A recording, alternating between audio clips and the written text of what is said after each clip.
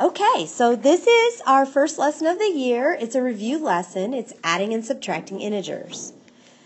Just like last year, we're going to be talking about the lesson objectives or the I can statements, the things that you should be able to do when you finish the lesson. So for this video, the lesson objective is I can add and subtract integers. Very quickly, I want to do a little bit of vocabulary just as a reminder. Really, all of this should be review, but it's been a long summer, so I want to make sure you remember how to do it. So, the first thing I want to talk about is positive. A positive number is larger than zero. Okay? And if you're looking at a number line, it's on the right side of the zero. A negative number is smaller than zero or less than zero. And it is on the left side of the number line, of zero on the number line. All right opposite. When we're talking about positives and negatives and we're talking about integers, opposite means the number with the opposite sign. So the opposite of 2 is negative 2. The opposite of negative 35 is 35. We're going to need that later on in this lesson. All right, and one more thing that we'll need in this lesson is absolute value. Remember that absolute value has the lines on the outside of the number. So if I have a 3 in here, all absolute value means is how far is any number away from 0. Okay? Let me write that underneath. How far any number is from 0. And something you should always remember about absolute value is that all absolute values are positive. So the absolute value of 3 is 3, and the absolute value of negative 3 is 3 also. That's how far they are away from 0. So let's get right into it. Let's talk about the rules for adding integers. The first rule you always want to remember for adding integers is that when the signs are the same, add the two numbers and keep the sign. Okay, so for instance, negative 50 and negative 48. I'm going to add those together. Since they have the same sign, it means that I'm going left of the number line. So I'm just going to add the two numbers together, 50 plus 48, which makes 98. And since there are 50 negatives and 48 negatives, my 98 is also going to be negative. Okay? And here's one that should look familiar to you. These are two positives. 3 plus 7 is 10. Shouldn't be an issue at all. Those are things that we learned last year. The second rule for adding integers is a little bit trickier, okay? When the signs are different, you subtract the numbers and then you have to look at the numbers and see which has the largest absolute value and that tells you what sign it is.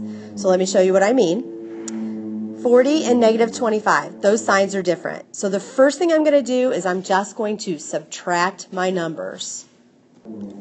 I know that 40 minus 25 is 15. Now I have to decide is it positive or negative? Well, the absolute value of 40 is 40 and the absolute value of negative 25 is positive 25. 40 is farther away, so my answer is going to be positive. Okay, let's look at the next one. Negative 5, positive 48. If I use my rule, I know that they're different signs, so I'm going to subtract the two numbers. 48 take away 5 is 43. Now, let's look at their absolute values. The absolute value of negative 5 is positive 5. The absolute value of 48 is 48. 48 is farther away, so that makes my answer positive. Pretty simple, and I hope you remember it from last year. Okay, so now we're going to subtract integers. This is the tricky part from last year. The one thing I want you to remember is do not subtract. Do not subtract, do not subtract, do not subtract. I want you to change it into an addition sentence. And the way you do that is by adding the opposite. And then once it's an addition sentence, you can refer back to the addition rules. So let's let's turn these into addition sentences just so you remember. Okay, negative 24 minus 11. So we're going to change that into addition. Negative 24 plus, and then this is 11. So we're going to add the opposite. The opposite of 11 is negative 11. Okay, let's rewrite the next one. Negative 21 minus negative 31. So negative 21 plus, and then what's the opposite of negative 31? It's positive 31. So let's add these. These are the same sign, so I know I just add them together. And 24 plus 11 is 35. Since they're both negative, that means that my answer will also be negative. Let's look at the next one. Negative 21 and positive 31. They're different signs. So 31, so I subtract. 31 take away 21 is 10. And when I look at their absolute values, 31 has the biggest absolute value, so the answer is going to be positive.